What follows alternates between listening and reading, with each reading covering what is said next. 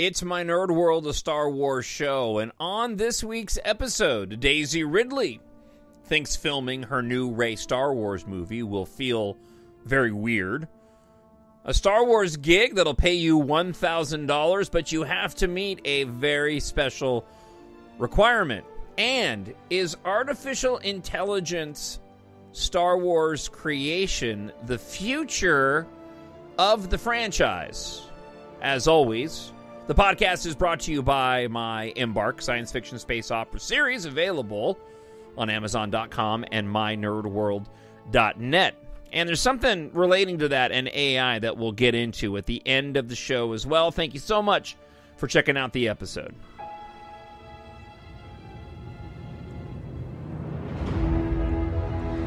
Nothing will stand in our way. I find your lack of faith disturbing. I will finish what you started. Who are you? I'm no one. There are stories about what happened. It's true. All of it. The Force. It's calling to you.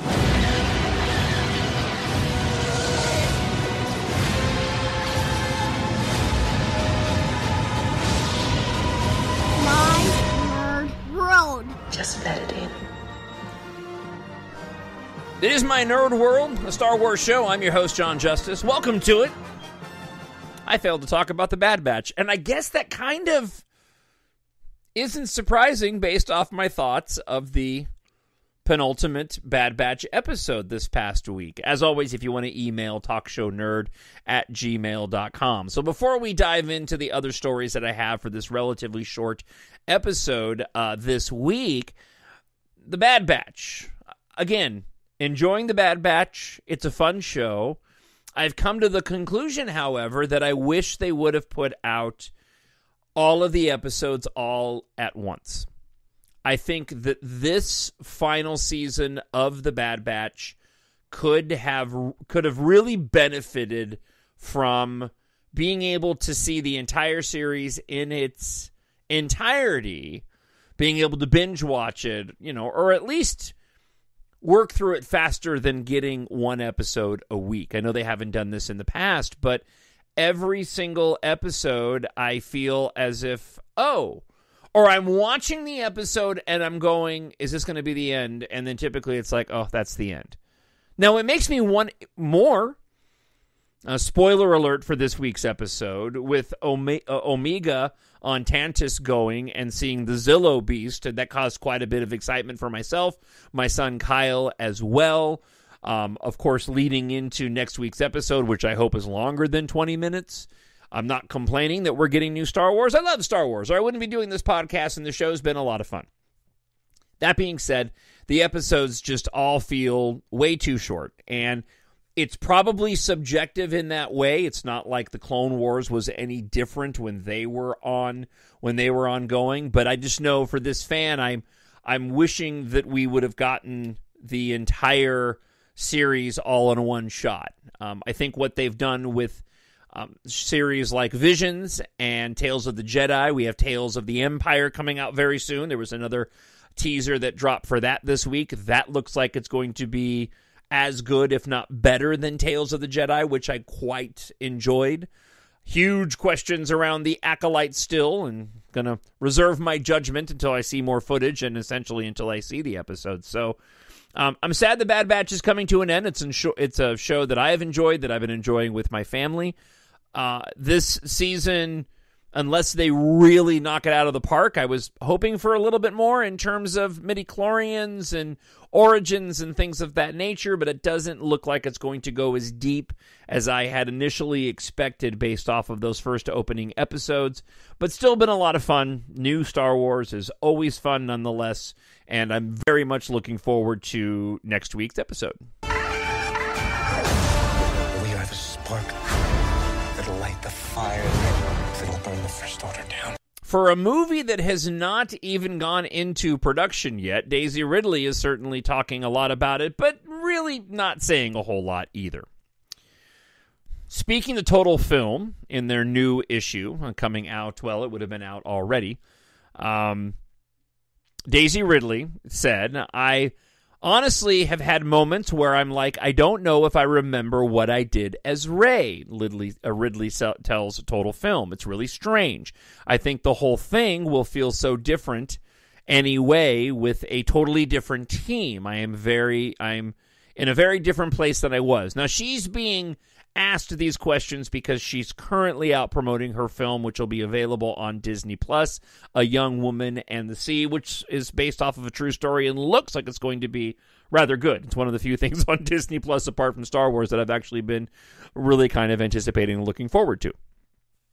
Daisy Ridley goes on to say, I'm probably going to be one of those adults, and initially I was the youngest person, person on set, which is a weird feeling. Um, she also opened up about her hopes for working with director Sharmeen Obaid, Obaid Chinoy in the project. I would also hope that it's a lot of the same crew. Obviously, many people shifted, but many people stayed through all three films. And there was something wonderful and comforting about that. But I don't know. It all remains to be seen. I would hope it feels natural in some way, but also like, I don't know, like it's a new adventure. I'm hoping it's sort of both. Not much is known about the upcoming Star Wars movie aside from that it'll pick up with Rey, now Rey Skywalker, 15 years after the rise of Skywalker. The Jedi are in disarray as she tries to bring a new order to the galaxy and rebuild the Jedi. And again, um, Rey's film does not have a release date. Young, uh, the Young Woman in the Sea is released on May 31st, uh, and there's already trailers available for that. Star Wars, I think, is one of the few franchises, and I haven't spent a lot of time thinking about this. I was just kind of pondering this as I was reading that story that can avoid some of the pitfalls that other franchises have seen when they've had a delay in movies in a series. When you think about Pirates of the Caribbean and how on Stranger Tides didn't really work as the fourth movie in the film after that initial trilogy. Um, it's okay.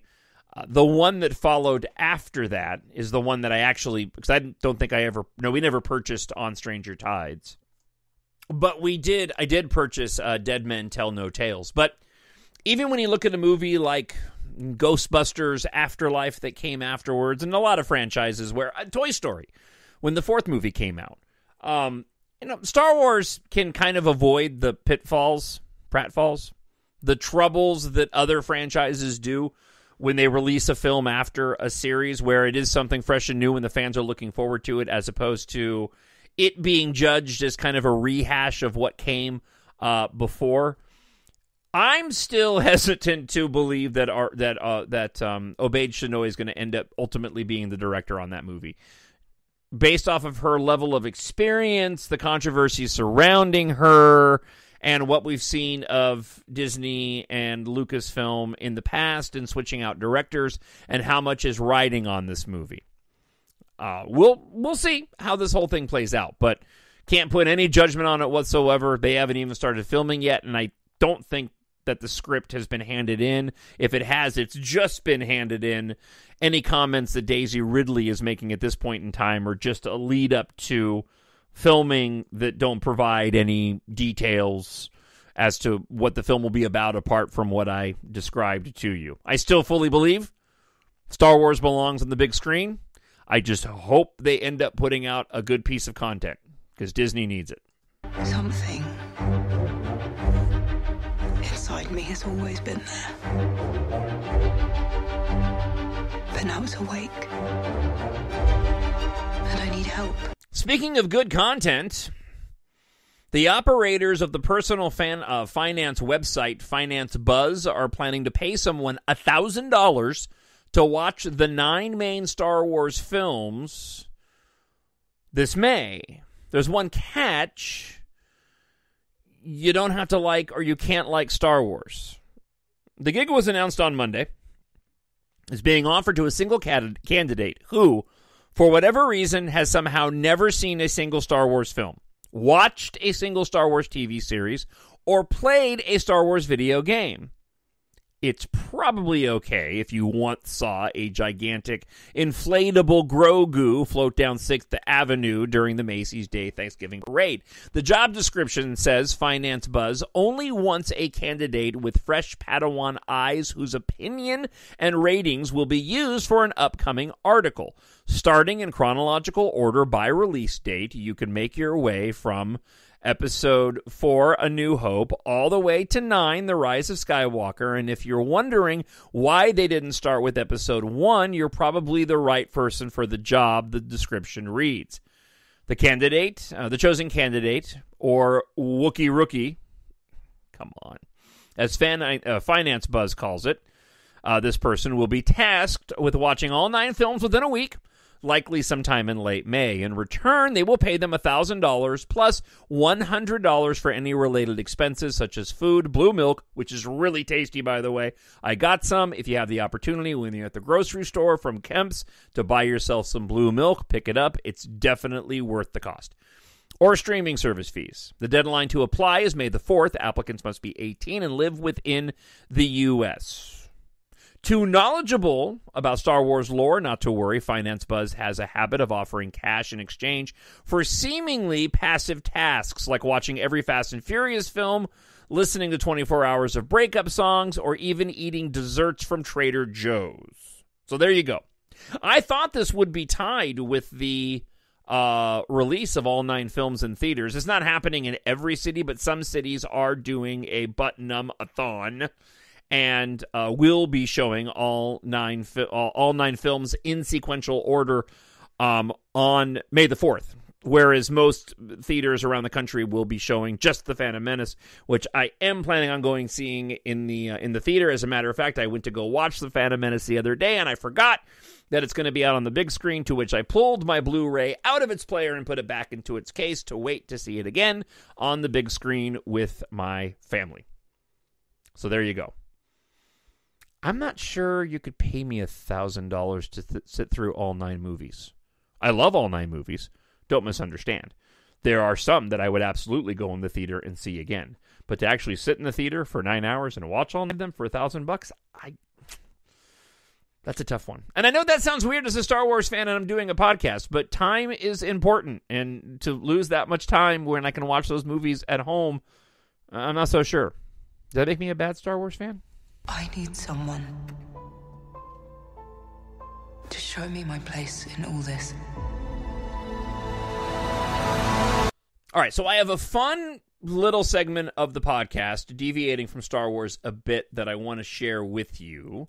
Before I do, though, let's get to listener feedback this week. Uh, just one. It's been quiet as of late. Not a lot going on in Star Wars. Why aren't you guys emailing me? Email me. Talkshownerd at gmail.com. N Black writes, I thought Andor was not going to be great on a rewatch, but I gave it a go, and it's even better as a second go round. It just makes the world of Star Wars feel so real, and the depiction of the Empire is the most effective of all the Star Wars content. The Empire feels scary in Andor instead of that hokey vibe put forth in the original trilogy and in the sequels. Gotta give credit to Gilroy and his writing team. The level of writing on Andor is far superior than anything Star Wars has ever had before or since. He should be the guy to helm Star Wars. So, no problem with your comments. I disagree with that last part. Because of what you said in there. Andor feels scary, right? The Empire is scary in Andor instead of the hokey vibe put forward in the original trilogy and the sequels. But the original trilogy is the original trilogy. That's what gave us Star Wars. So for those of us that grew up on Star Wars, that's the core of Star Wars. I think it's cool they made the Empire feel scarier, but I certainly wouldn't want that to be Star Wars moving forward. Because I was raised and Star Wars was great and became popular because of the hokey religions and ancient weapons that were brought about in the original trilogy. Uh, to make it too heady, I think it's fun to watch on occasion. It may be others' vibe like yours, you know, more moving forward, but I think the essence of Star Wars still goes back to that original trilogy, and it's why I'll just give a shout out to it again. Why I think that um, um, Ahsoka is one of the best pieces of Star Wars, uh, new Star Wars content, and certainly the best live action content that they have uh, put out uh, since uh, you know that they've put out live action streaming I know I'm fading a little bit. I'm sorry. I've uh, did my radio show, came home, didn't have a nap, did my Depeche Mode podcast, and now I'm recording this podcast. So I'm about on my last legs. So before I let you go, want to talk about my science fiction space opera series as I do at the end of every episode. But to get to that, I want to talk a little bit about AI. And uh, this was a topic in my Depeche Mode podcast because somebody had gone out and created a Depeche Mode song solely with AI, and it's a pretty incredible song. Um, it's definitely AI, but I've listened to it a dozen time now, a dozen times now, because I've really enjoyed it. I've ventured into AI. Uh, I'm not sure how I got there. I don't know if I was reading about something or was looking something up, but I just started doing some research on AI. I've been talking about it on the show. Came across a, a, an AI generation website called Open uh, Open Art AI, and I began messing with it. I've been thinking for a while about changing the covers to my seven book Embark series. I, I, paid good money to have those covers created by Tom Edwards. He did a fantastic job. I love those covers. I have two versions of the first cover. The first version was just the core spaceships in the story. Uh, the anniversary freighter, the traverse crafts of my heroes Taft and Katha, and then the MTCs of the uh, empire of my story called D Corp. Those were on the cover of the of the of the book. I had Tom go and create the characters of the story, Taft, Katha, and their crew, Ven, Jabet, and Ashley, and put them on a cover for uh, a uh, a version, a second version of the cover. Uh, has has more of a of a movie poster style to it, but you know I've had these covers for a while, and I was curious what kind of traction I could get on the books if I chose a different type of cover. Um, and I started going down the road of AI coming across this website and what AI is able to produce off of a very brief prompt. It's truly incredible. And now I remember why I wanted to bring it up on the on the show. There have been videos that have been made because AI can create videos as well. And it's evolving at a rapid rate. It's not there yet where you can actually create an entire show based off of AI, uh, but eventually it will get there. People have taken Star Wars, they've put it into AI generators, and they've added in certain aesthetics to make it seem like it was produced back during the times of like Flash Gordon, which is interesting because George was basing it off that, right? But it has this this retro futurist retro futuristic vibe even further back than what George created. And what it's created in these they're almost like trailers of a potential Star Wars story and what it could be. It's truly incredible. You can see eventually where AI will be able to surpass the hours upon hours of work that a, a, a CGI artist creates uh, in the same way that at the moment it's able to, within a matter of 30 seconds, create a photorealistic version of a simple prompt good enough to where I've put it on the cover of one of my books. I put in a prompt into AI that was as simple as young male starfighter pilot with black hair, young female starfighter pilot with blonde hair, standing side by side, facing the same direction, looking intense, holding guns with exploding planet in the background. Now, it'll spit out different versions based off that prompt to the point where you have to keep doing it over and over again to get the result that you want to get because it'll keep recreating those images. But what it created was stunning. The first batch of AI art created from that prompt on this website, I've actually am using now for two of my book covers. And I'm going to recreate, I'm going to create book covers for my entire series based solely off of the AI generation from this website, along with using the Adobe expanding AI program where you can take a photo you can choose your size. Like I'll choose widescreen. I'll shove a portrait picture that AI created in this other program that has my the image of what I want the cover to look like. and then I'll ask the Adobe program to fill in the rest of the picture, and then it gives me a series of options, and it looks incredible. If you want to see an example of this, the first um, change, cover change, is already available online at at, uh, at Amazon.com. So head on over to Amazon.com, look for Embark Jon J O N Justice, and you can see this new cover that I've created. I don't know if this is going to bring about more sales of my books. This is the reason why I'm doing it. I'm trying to see if perhaps a different cover that maybe leans in a little bit more to the age group or the characters of the story, and you'll see what I mean. I'd love to get your thoughts on it, by the way. Um, head on over to Amazon.com and check it out uh, for yourself. But I will be creating AI covers for all seven of my books, and I'll make them all available, and I'll promote them like I always do, and we'll see if it makes any change. And if it doesn't, it cost me very little to go and create these, and I can go and go back to my other covers or perhaps try a different style cover. These are very much photorealistic versions of the characters that I envisioned for my story. I was thinking perhaps down the line I'll create something that's a little bit more simple, maybe a little bit more abstract using symbols and and profiles of spaceships and try something like that.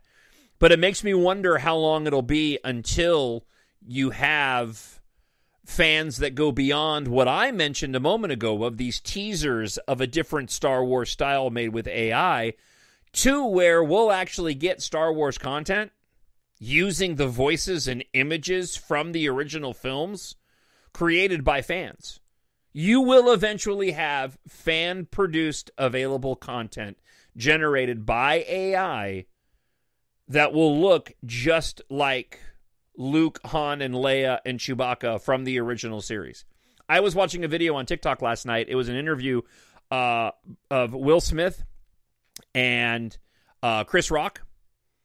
Most people would have no idea it was completely AI generated unless you told them. As a matter of fact, I started watching it, and at first I thought I was watching a real interview, a sit down between Will Smith and Chris Rock. And I was like, oh, this is interesting, especially after he slapped him. And then after watching for a while, something seemed off. And sure enough, I went into the comments and somebody said, AI generated that.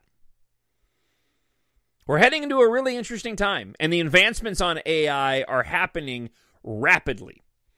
Go check out my book cover and see what I mean. It's pretty incredible. I loved this picture, and I spent a good couple hours messing with it, tweaking it, trying to get different versions of it until I landed on this one. I'd be really interested uh, to hear what your thoughts are with regard to that. And of course, um, I hope just ultimately buy the books. That's the whole point of it, right?